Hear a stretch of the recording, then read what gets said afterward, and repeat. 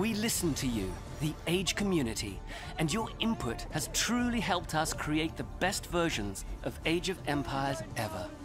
Today, we're proud to announce even more updates coming to the Age of Empires Definitive Collection. First, coming this summer, we are excited to announce our second expansion, Dawn of the Dukes, taking you to Eastern Europe in the Age of Empires 2 Definitive Edition experience, with new campaigns and much more.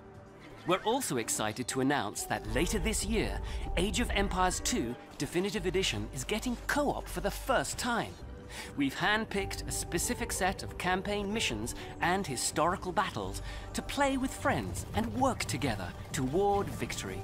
We'll have more details to share for both updates in the months ahead.